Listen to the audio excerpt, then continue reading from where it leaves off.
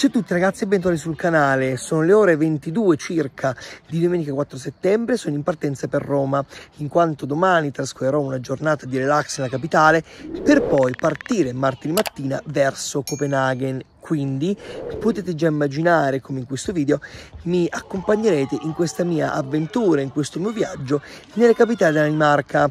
Quindi bando le ciance e ci vediamo direttamente in aeroporto. Ed eccoci qui ragazzi, siamo all'aeroporto di Fiumicino, sito in Roma. Tra più o meno un'ora ho l'imbarco per Copenaghen, quindi seguitemi in questa avventura anche perché cercherò di farvi vedere le bellezze o quantomeno cose che reputo più interessanti della capitale della Danimarca. Siete quindi pronti? Al mio 3 ci troveremo direttamente all'aeroporto di Kastrup. 1, 2 e 3. 3 sono appena arrivato a Copenaghen, ora vado a prendere la metropolitana, vado nel, nell'hotel che abbiamo prenotato e quindi mettete sintonizzati perché ci divertiremo sicuramente insieme. Depositati i bagagli in hotel e preparata la stanza, volevo mostrarvi questa prima bellezza della città. Guardate che piazza enorme che è caratterizzata da questo edificio.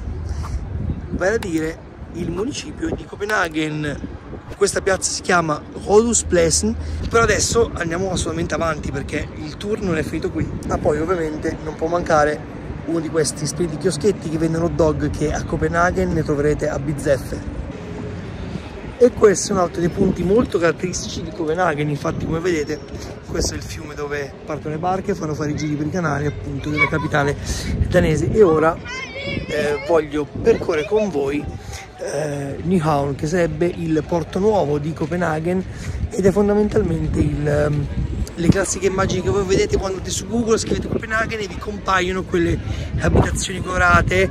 Ebbene ora ve le faccio vedere dal vivo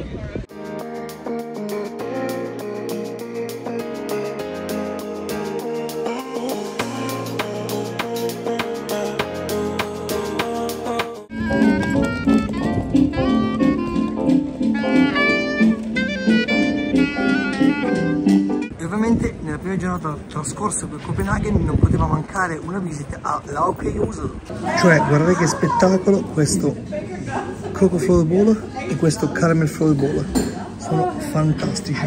Buongiorno a tutti ragazzi e siamo qui pronti a vivere il secondo giorno a Copenaghen.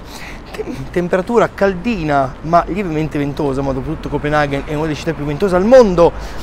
Tappe di oggi, sicuramente del Lille Hafro, quindi la Sirenetta, eh, Rosenborg Slot, quindi il Castello della Regina insieme al The King's Garden e poi vorrei passare al Teia Parken, quindi allo stadio del Copenaghen, vediamo ovviamente se poi sarà aperto. Queste sono le tappe certe, poi sicuramente qualche sorpresina ci sarà. E ovviamente a Copenaghen non potevano mancare che i negozi della Lego. Il piccolo fun fact, eh, molti di voi magari si chiederanno cosa vuol dire Lego. In realtà è una crasi del, diciamo, dell'espressione danese Leugot, che vuol dire gioca bene. Intanto per iniziare benissimo la giornata, colazione a Kekenhagen. Guardate che spettacolo, una bella insegna rosa molto fashion e guardate che spettacolo ragazzi. E guardate che spettacolo di colazione, Banana Cake, Tivoli Cake, che è un dolce con composta di mele, meringa, panna e poi il celeberrimo chai latte, quindi una sorta di caffè latte però aromatizzato alla cannella, stupendo.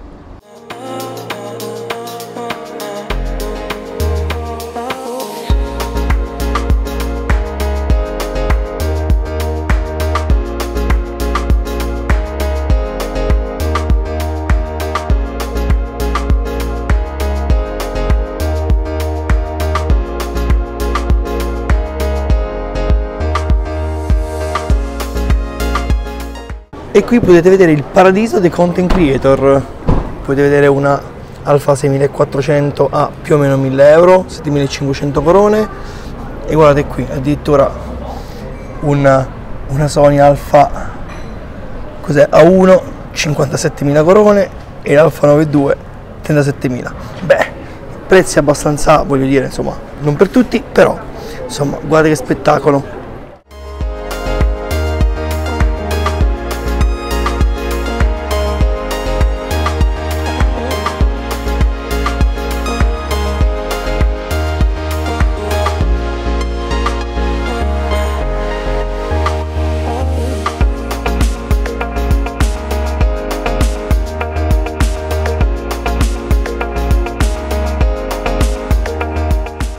E siamo ora vicini a Delil Alfu, che sarebbe la sirenetta. Devo dire che me ne immaginavo molto più grande, però già sapevo che non fosse una cosa titanica, però sì, un bel monumento, anche perché comunque è qualcosa di veramente tradizionale per la Danimarca.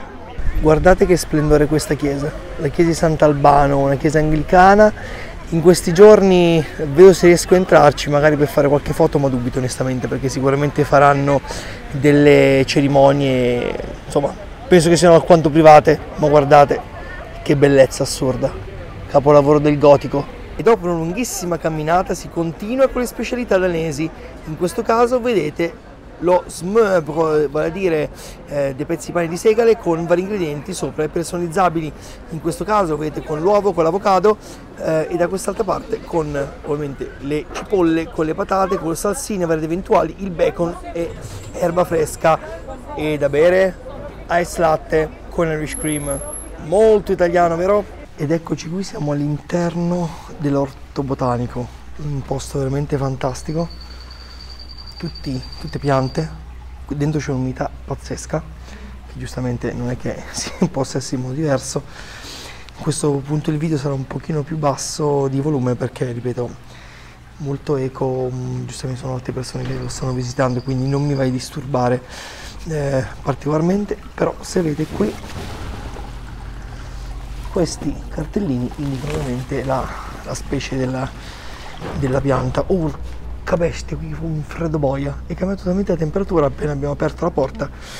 Comunque veramente ragazzi un posto spettacolare dove sono piante che non ho mai visto in vita mia, però insomma è un'esperienza assolutamente da fare. Guardate che spettacolo, siamo saliti in alto, diciamo in cima alla cupoletta e da qui si possono vedere le piante tropicali dalla cima.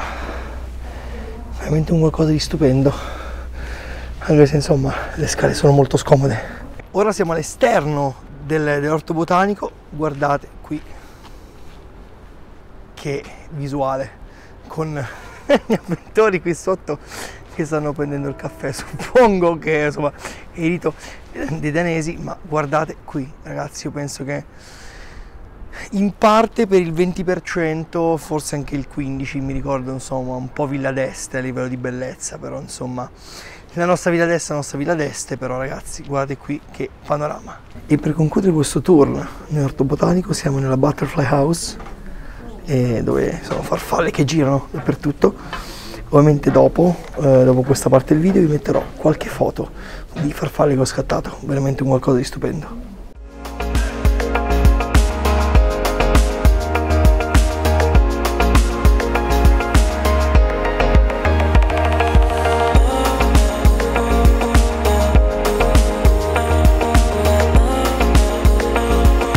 Ed eccoci qui pochi secondi davanti al Tegliaparken. Guarda che, che bestia. Qui ovviamente c'è l'ingresso. Ingang Skybox. È veramente un io ho avuto il piacere di vederlo di vederlo da, dal vivo perché sono venuto a vedere un match mi pare Copenaghen Brøndby. Eh, è stato veramente bello bello bello. Peccato non poter entrare perché ovviamente è, un, è chiuso. Però ripeto qui FC Copenhagen. Ed ecco qui l'ultima tappa del giorno, vale a dire Kongenseu oppure The King's Garden in inglese. E guardate quanto è spettacolare. Un viale totalmente alberato, un prato dove vedete anche lì c'è gente che sta chillando, eh, molto felicemente ed è un posto veramente fantastico perché qui eh, ci sono genitori, vengono con, con, i figli a giocare a pallone, è veramente una cosa fantastica, soprattutto nei giorni di festa. Quello lì invece che vedete sul vostro sfondo, ecco qui ve lo sto indicando, è eh, il Rosmos Lot, vale dire il, eh, il Castello della Regina, per dirvi, il Castello Reale quindi adesso non, lo vedete poco anche perché non ci si può entrare semplicemente perché è una zona militarizzata, mm, military område, eh, quindi non, eh, non ci fanno entrare ovviamente, anche perché comunque ci sono le guardie che lo presidiano e ho assistito anche al cambio della guardia, non si poteva filmare ma è stato veramente eh, carina come cosa. Quindi direi che per la giornata di oggi è tutto e ci vediamo quindi al terzo giorno a Copenaghen. Ed eccoci qui ragazzi pronti a vivere il terzo giorno a Copenaghen. Oggi giornata veramente coperta come potete vedere ventosa e minaccia pioggia ma tra poco da Newtown partiremo per fare un bel giro lungo i canali della capitale quindi ragazzi godetevi lo spettacolo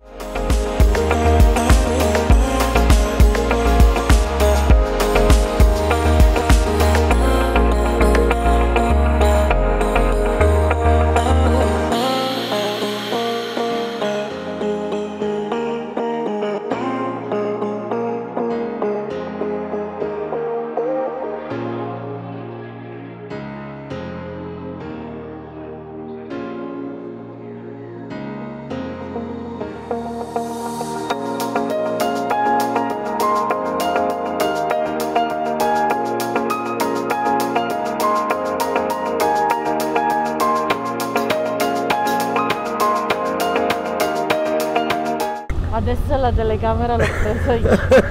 Ragazzi, qui fa un freddo devastante, devo dire. Eh, però è bello perché è come andare nelle, nella colonna vertebrale della città. Intanto qui c'è anche il, il commentatore che commenta in danese che spiega tutte le cose storiche. Ma devo dire che è molto bello. Eh, freddo, freddo, freddo. Seduti in camera? Ed ecco qui il teatro dell'opera, stupendo, soprattutto visto da una sorta un battello. E devo dire che siamo tipo riempiti dall'acqua.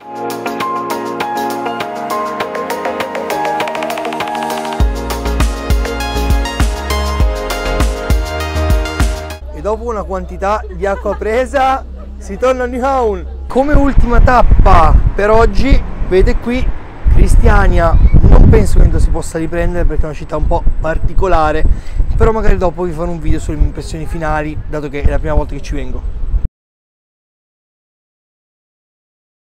Ed ecco qui sono all'interno di Cristiania, uno dei luoghi diciamo dove si può fare un pochino, si possono fare foto o video, ecco, potete vedere una delle tipiche arti del, del, del posto, è un posto veramente strano, cioè dove la, la, la libertà ovviamente se non conoscete Cristiania un po' informatevi perché insomma eh, non posso dire su YouTube cosa fanno qui però comunque è veramente una cosa stranissima molto particolare molto carina eh, è tipica insomma Skoll! Skoll! Skoll! intanto ovviamente gente che sta bevendo birra gaiamente e semplicemente li ho, eh, ho brindato con loro metaforicamente. Comunque veramente una bella cosa e penso che per i video di oggi si possa concludere qui anche perché è carino insomma chiuderlo con le tipicità di Cristiania. Quindi ci vediamo domani per il quarto giorno Buongiorno a tutti ragazzi, quarto giorno del, di questo mio viaggio a Copenaghen. Siamo sul treno 1038 della DSB, tra poco attraverseremo l'Horizon, direzione Malmö. Ora siamo sull'Horizon eh, quindi siamo praticamente in mezzo all'acqua. Eh, devo dire che è una cosa stranissima perché ovunque ti guardi non vedi assolutamente terra. Eh, prima siamo un po' inabissati, siamo sott'acqua, poi siamo rimersi, ora siamo nel mezzo dell'acqua. E dopo queste clip vi metterò anche due brevi video dove vi faccio vedere un pochino le sensazioni che si possono provare.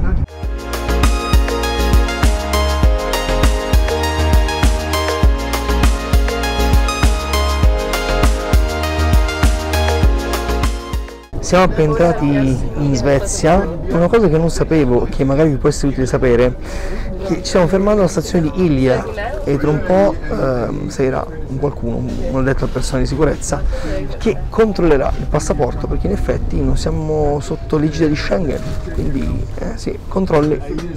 Siamo appena usciti dalla stazione di Malm, devo dire che sembra molto carina come città, forse siamo quasi una Copenaghen un po' più piccola, ma guardate che bestia architettonica che mi trovo qui. È la St. Petri Kirka, la chiesa di San Pietro, è, veramente una cosa enorme. Beh, io adesso vedo di... cerco di entrare perché sono curioso di vedere com'è dentro.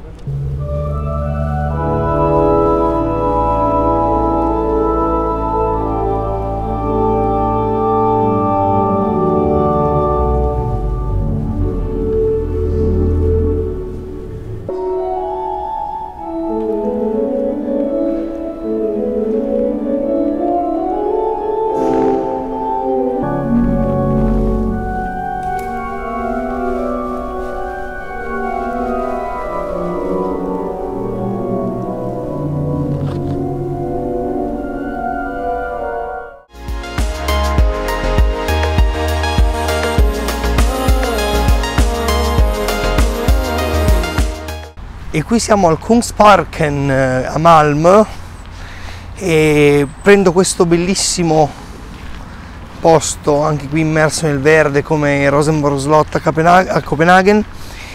Eh, ma vi dico una mia prima impressione su Malmö. Ok che è piccolina ma è silenziosissima. Silenziosissima ragazzi non veramente non vola una foglia senti soltanto il flebile rumore dei, dei semafori quando scatta il verde per attraversare senti le, le macchine girare senti il vento senti le fronde degli alberi ma veramente molto molto molto silenziosa. Una cosa che onestamente non mi aspettavo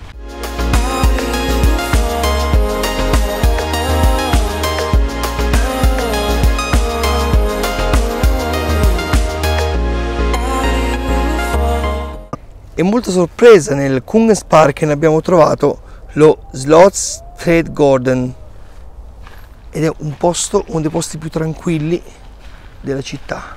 Guardate qui all'interno di Malmö eh?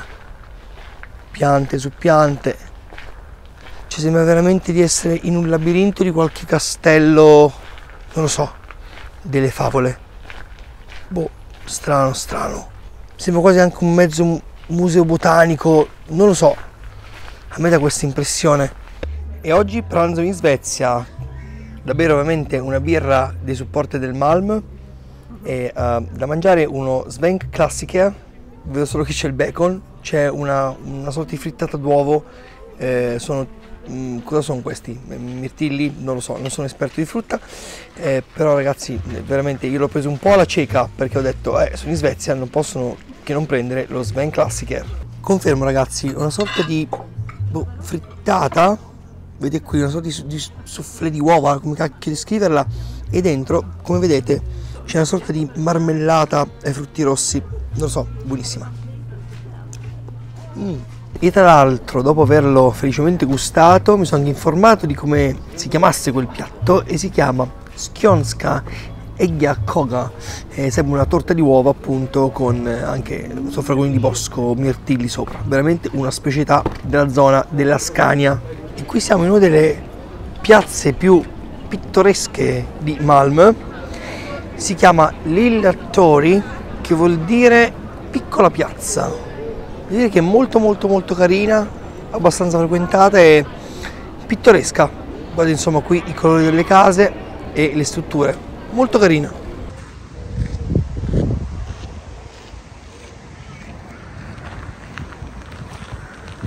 e come ultima tappa di questo breve giro a Malm come potete vedere l'Era Stadion lo stadio del, del Malmö FF ovviamente stessa cosa che ho fatto per il Teleparken a eh, Copenaghen. Purtroppo questo tour lo considero finito anche perché domani ho il volo di ritorno verso l'Italia e quindi a questo punto ci vediamo direttamente in ostello per le considerazioni finali. Quindi un, un saluto dal sottoscritto da Malmö. Oh, ed eccoci qui, dopo un'estenuante giornata tra Malmö e Copenaghen che dire di questi quattro giorni? Sono stati splendidi e veramente consiglio a tutti di venire in queste zone. Ho tralasciato nel video molte parti, devo dire, ehm, che comprendono magari le varie interazioni con le persone del luogo e gli almeno 32-33 mila passi al giorno. Però, ripeto, consiglio a tutti di venire in, queste, in questa parte del mondo in Scandinavia veramente splendida, soprattutto ovviamente poi dalla Danimarca e volevo sfatare un mito, non è assolutamente vero che eh, i danesi sono freddi. Non mi resta altro che ringraziare appunto il popolo danese, Danimarca per avermi accolto, averci accolto in modo così splendido e spero che abbiate gradito questo video confezionato apposta per voi. Ciao ragazzi e buonanotte.